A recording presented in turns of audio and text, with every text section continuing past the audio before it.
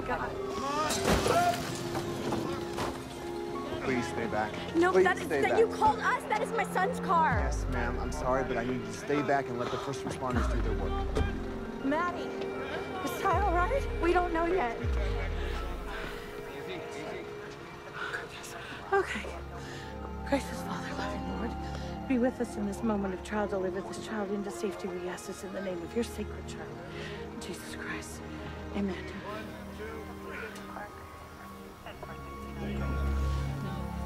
Wait a minute, that's Kyle.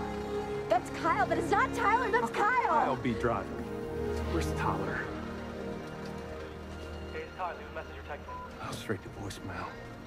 Hey, Tyler, it's your dad. It's an emergency. Call me, son. You're the parents? Yeah. The driver is unconscious. The paramedics are assessing him and then transporting him to the hospital. We'll meet you there. We'll also transport the passenger. The passenger. Wait, the passenger is Tyler in there. Is Tyler in there? I can't see clearly yet, ma'am. Oh God, is it Annie? Okay, wait, wait, no, no, wait, wait, wait. When, when, when they're all supposed to be at prom, so, so, so, CT and, and, and Ty and, and Annie and Simon. Where was Kyle? Kyle was at, at Mary Vaughn's. He was with Nellie.